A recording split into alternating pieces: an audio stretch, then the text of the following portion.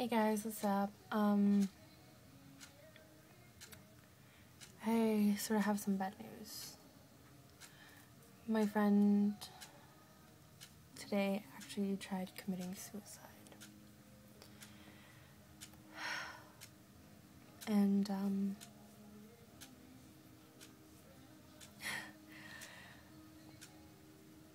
suicide is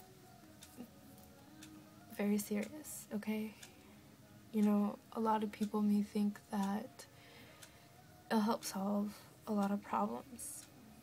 And, like, it doesn't. Believe me. It just, if anything, causes more problems. I think, anyways. Um, my friend's okay. It was a really tough day. Um, I did what I could. I feel like I did what I could. I, I called the cops. You know, I left work. I, I abandoned my shift just so I could go help my friend. And, you know, it's the only way I knew how.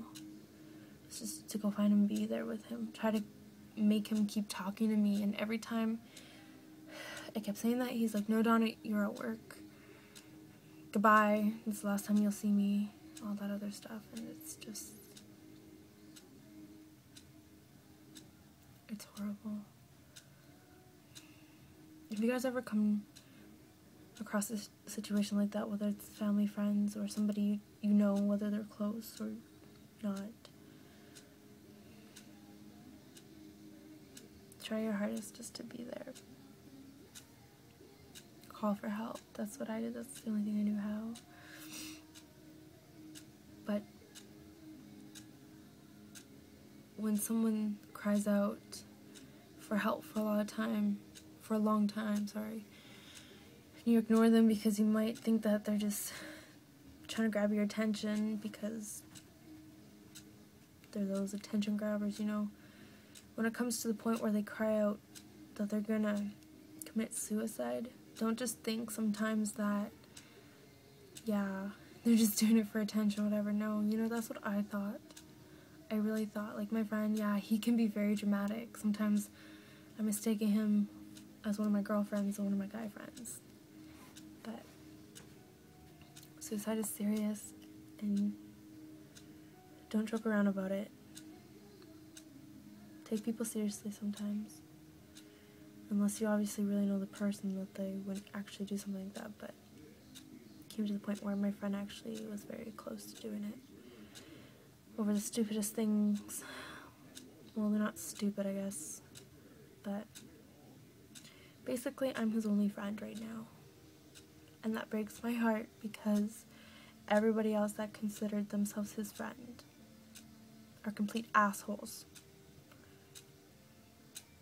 That's the nicest way I can put it. They tolerated him when he was around. They never wanted him. He comes from a broken home. Mind you, like, my friend here, he was my roommate for half a year. I took him in, I've made sure he had everything he possibly needed. No one ever offered him that kind of stuff. Sometimes when your friends are just like, hey, you know, I need to vent, let them vent. Because if you don't let them, they're gonna bottle it up.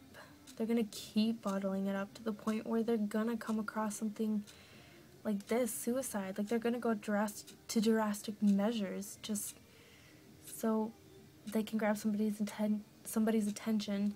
Be like, hey, you know, I'm seriously hurt inside. I don't know what to do. But right now, like I said, my friend's okay. But tomorrow, I'm gonna take him to somebody who can help him a little more than I can right now. So, this is my second video for today, but I don't care. I really want to share this topic with you guys. Leave me a comment letting me know what you guys think about this kind of issue. Good day, you guys. Keep smiling. Life is good if you let it be.